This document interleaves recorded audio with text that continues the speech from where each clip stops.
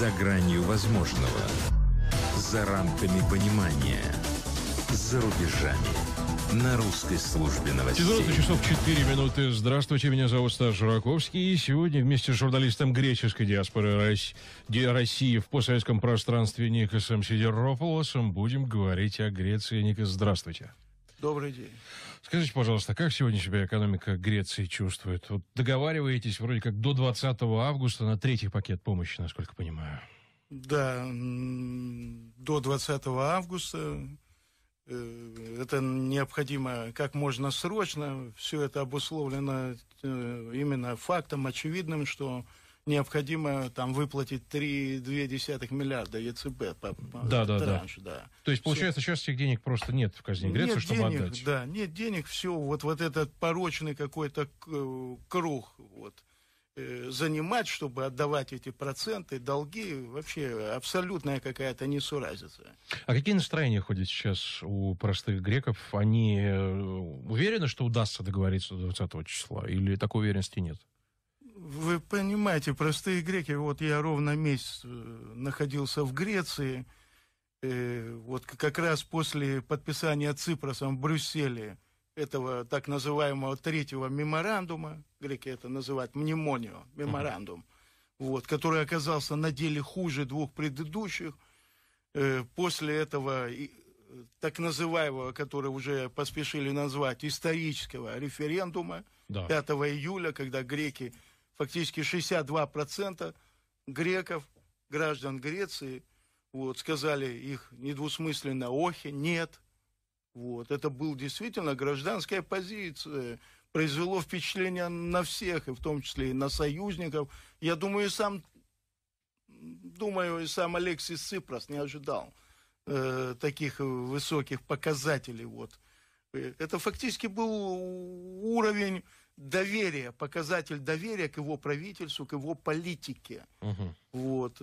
После этого глубокое разочарование. Я приехал в Грецию 10 числа и фактически за две недели побывал на 10 митингах многотысячных митингах, которые проводились в центре Греции, на площади Конституции, на других площадках, вот, на, на других конференциях, которые были подверстаны вот, э, к событиям еще не такой давний для истории 50 лет это ничто. Вот на, на конференции, посвященной июльским событиям 65 года, которые очень напоминают вот по лекалам вот события, которые происходят сейчас как известно, события все вот эти после выхода из гражданской войны, какая-то демократизация, процессы 64-65 года, приход к власти старшего Папандрео, деда демократии, э, его отставка завершилась вот этими 40-дневным хаосом в Греции, которые в итоге все эти события привели к приходу к власти, вспомним, в апреле 67 года в власти э, хунты черных полковников.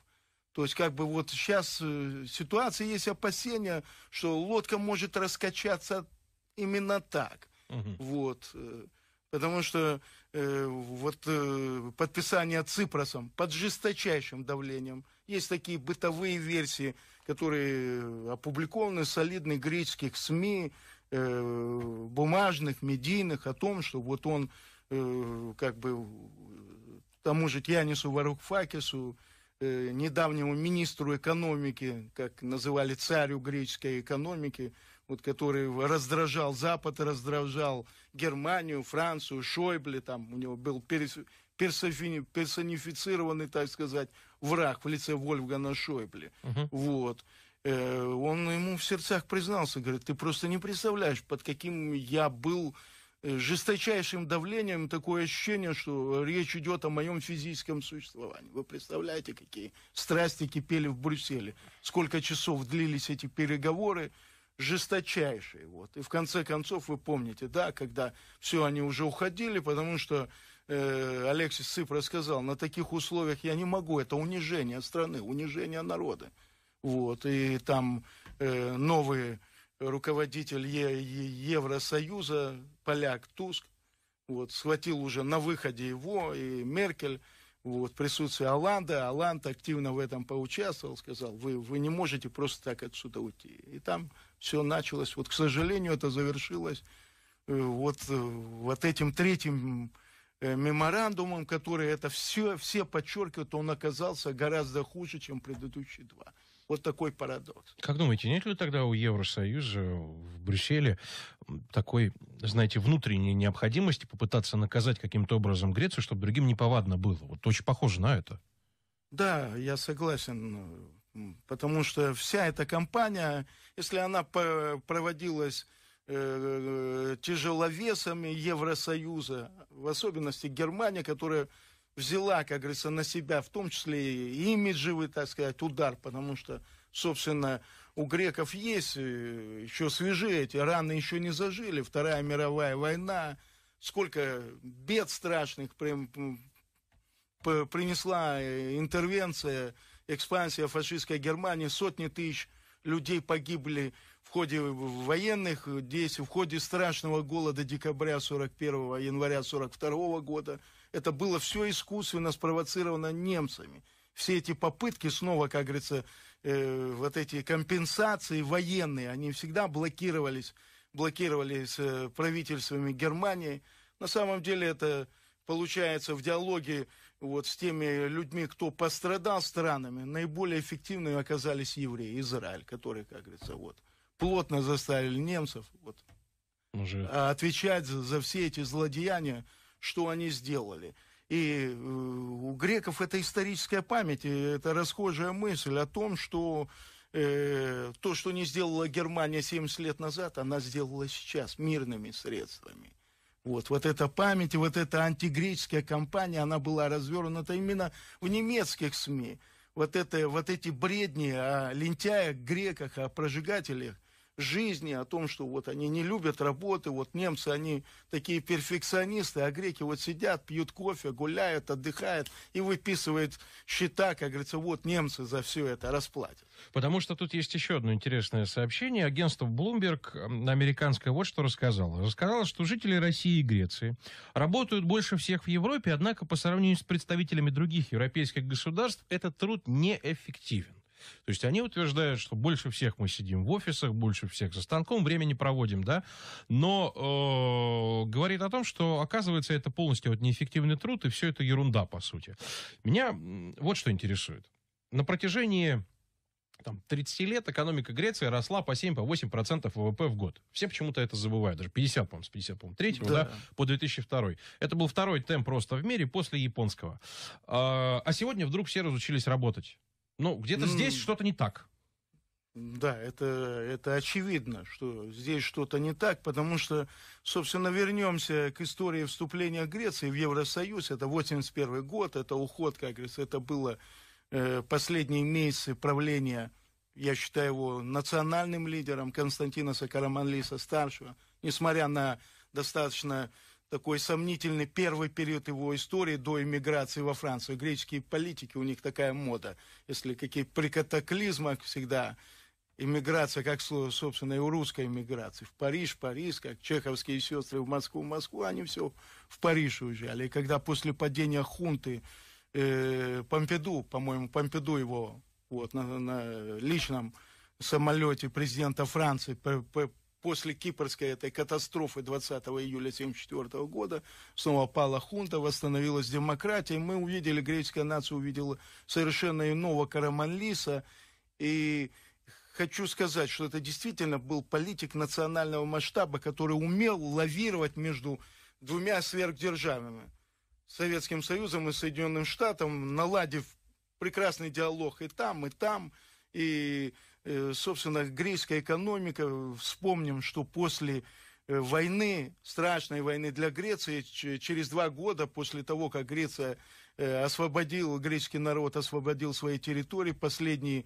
немцы, военные соединения покинули Грецию 18 октября 1944 года. То есть одно из наиболее мощных Э, сопротивлений в Европе, в мире, это было греческое, наряду с Югославской народной армией, греческое сопротивление. Было, и, к сожалению, в речи президента России. Об этом не было упомянуто. Кто-то из политиков, не буду называть моих хороших э, знакомых, товарищей, известных российских журналистов, э, они мне сказали, я спросил, ну как жить, ну э, это вопрос господам Приходько и Ушакову. Ну, неужели они не, не знали очевидно эти вещи? Они мне, ну, видимо, профессия журналистики, она тоже цинична. Говорит, ну, а как же, а почему Ципрос обещал 9 мая приехать, ну не приехал. Я говорю, ну приехала э, спикер парламента, это тоже достаточно высокий уровень Зоика Стандапулу. Вот эти моменты. И по поводу экономики. Ведь э, Греция, когда вступила в зону евро, э, вспомните, там не хватало каких-то, какого-то процента вот, дефицита платежного баланса, э, что правительство Семитиса решила достаточно просто, брутально. Оно просто купило это Goldman Sachs, чтобы те вывели, как говорится, вот эти необходимые 3,2, там сколько да, надо да, было, вот бюджету, эти данные, да. да. Вот и как раз об этом после небольшой То есть это поговорим. говорит о том, что греческая экономика была достаточно здоровой. За рубежами. Итак, продолжаем говорить о Греции. Скажите, Ника, скажите, пожалуйста, вот меня тоже вот удивляла эта ситуация, что вроде Греция входила здоровой вполне себе экономика в Евросоюз, а, а уже, скажем, сейчас, когда начали раздаваться голоса о том, чтобы выйти из еврозоны, это уже экономика, которая сидит на кредитной игле. С одной стороны, есть МВФ, который всем странам советует примерно одно и то же, и приходят все к одному и тому же, как Аргентина в 2002 с ее А дефолтом. где все это работает? Вот я сразу, я не понимаю, Ну, где. Я извиняюсь, что я вас Да, да. перебив, Ну, что а где это все работает? Вот я поэтому удивляюсь. А почему тогда греки согласились на такие рекомендации?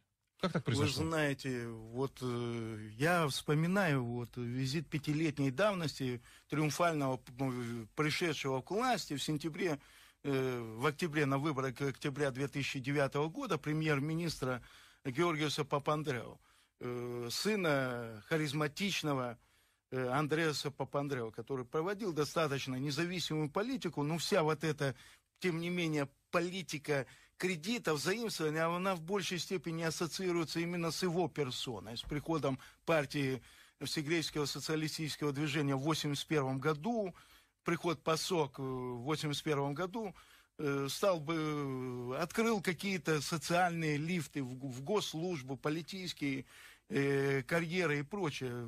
Вот. Но он породил еще такие вещи, что э, вот эти моменты кредитования вот этой греческой экономики, когда вот кто-то вспомнил, привел факт, что э, заняты при Папандрео миллиард, ну, евро тогда не было, долларов, вот, он через 20 лет обернулся суммой в 50 раз больше. И я всегда задавался вопросом, боже мой, а почему не расплатились с этим миллиардом, не отдали, почему он там раздулся как мыльный пузырь? То есть какие-то процентные там все эти моменты там, вот, и, и х- хочу сказать о том, что э, вс- вся эта, э, когда мы говорим, это, это, собственно, и вина правящих кругов, правителей Греции, правительств Греции, премьеров Греции. И все эти моменты, когда Греция вошла, вкатилась, вкатилась в этот первый меморандум в 2010 году, я считаю, это абсолютно вина греческого премьера Георгиуса Папандрео. Отсутствие у него, скажем, такого стержня, политического мужества. Вот э, э, представитель Греции, Греции по переговорам с МВФ, вы помните? Да. Да, вот он э, сказал, вот от этих напряженных переговоров между Стросканом и Папандрео, Георгиусом и Папандрео, когда Строскан ему сказал, ты понимаешь, что подписывая все это, вот все вот, вот по Франции, по всем этим ценным бумагам Германии, ты просто выкопал м, вообще яму собственной стране. Но он, тем не менее, это подписал. Казалось бы, такой ответственный человек, как Строскан, как бы, как Господь Бог протягивает ему дощечку, на, выплывай, вот, не тони, а вот, тем не менее, у него не хватило мужества, вот как это хватило, скажем, на этапе пяти месяцев первых у того же Алексиса Ципроса заявить, сказать, нет, мы не пойдем этим путем, потому что это путь в тупик, это путь в пропасть, и отсюда все эти пошли проценты, казалось бы, э, займы, кредиты и прочее, щедрые. Ну и что эти кредиты дали? Они же ничего реально в реальный сектор не дали. Они обслуживали эти проценты, про- про- про- процентовщиков Это просто грабительские были проценты. То есть без каких-либо эмоций добить, уничтожить и прочее. А, сказывается, Греция – это союзническое вам государство или просто вот как мы живем в эпоху по Киплингу людоедов, значит, вот поймали эту жертву, довели, убили, обглодали и все, и выкинули за недадомности. То есть сама эта концепция Евросоюза, вот в нынешней, так сказать, его интерпретации, начала трещать по швам. То есть отцы-основатели, наверное, заложили что-то другое туда, какие-то благородные лозунги, равенство, солидарность там и прочие вещи, которые вот последние два десятка лет, особенно зона евро, они вообще, то есть немцы всех укатали, немцы всех поставили на колени. Вот.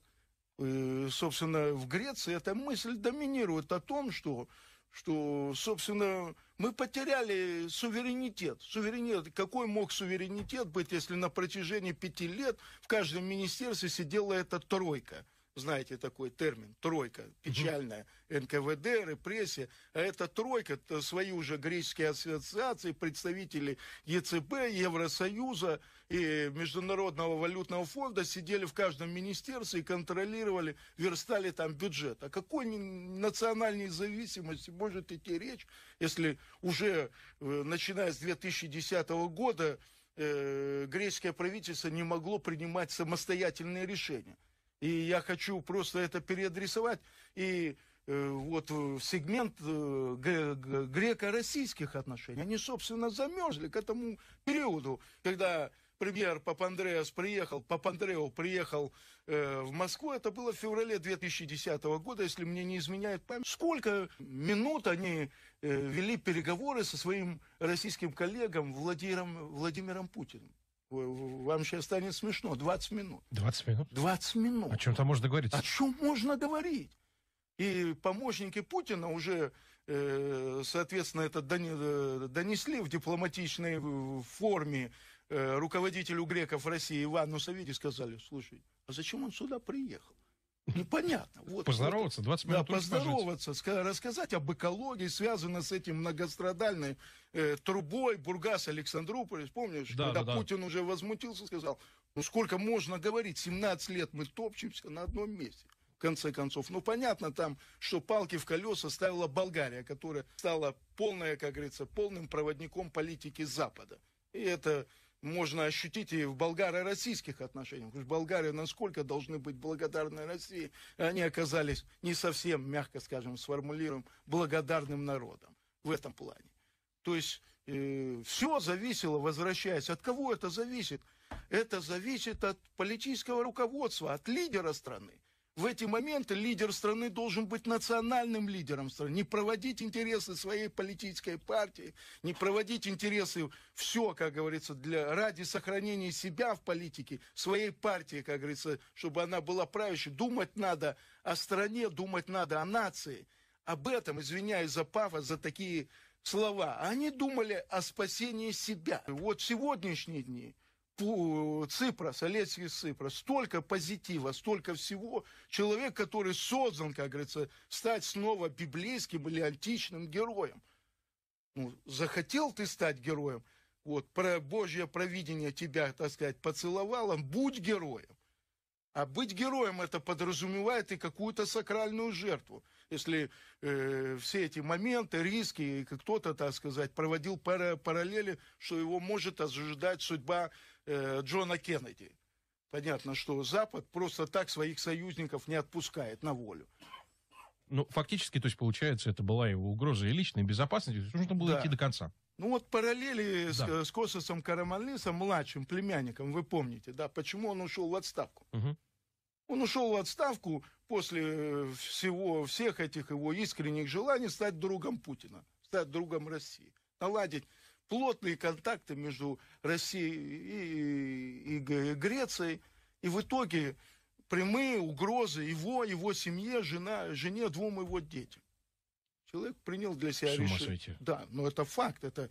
это Хотя, казалось бы, это обычная дипломатия, почему да, бы нет? А вот э, человек ушел из, э, как говорится, первой из топовой политики по причине прямых угроз его физическому существованию, его и его семье. Они нашли, кто угрожал потом? Нет?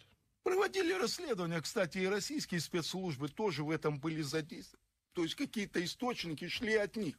Я думаю, российские спецслужбы не были заинтересованы Россия, политическое руководство России в том, чтобы Карамалис, который проводил пророссийскую политику, чтобы он ушел. Конечно. Они делали это, я, я так полагаю, искренне, чтобы, как говорится, предупрежден, значит вооружен.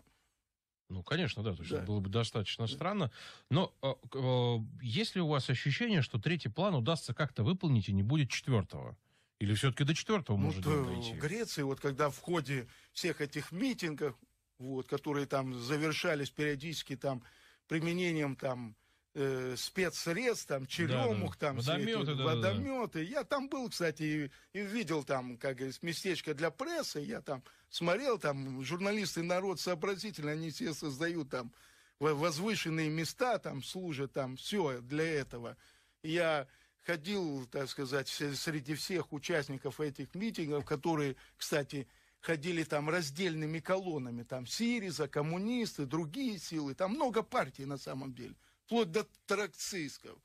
И, и такая очень грустная констатация, что э, греческое общественное мнение тоже какой-то отчасти момент кренка в какой-то крайность, как вот эта партия «Золотая заря» Хриси Авги. Понимаю. Да, она стала, э, взяла э, третье место. И вот этим всем лидерам, кто там присутствовал, кто были это, я им сказал, вы, вы знаете, вы все идете разными колоннами, потому что для вас главная партия, а не страна. Спасибо большое. Николас Сидоропов, журналист греческой диаспоры России в постсоветском пространстве. За гранью возможного. За рамками понимания. За рубежами. На русской службе новостей.